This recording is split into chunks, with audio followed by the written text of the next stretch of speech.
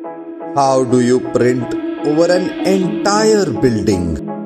This is the new international airport at Bhubaneswar, and this is the Konark Chakra at the Sun Temple in Odisha. And this is our mission. Brand the gigantic building at the airport using Odisha's most famous cultural icon. And so, we started creating the artwork of the chakra in fantastic detail. And then we printed out a huge graphic of the same that was visible even at a distance.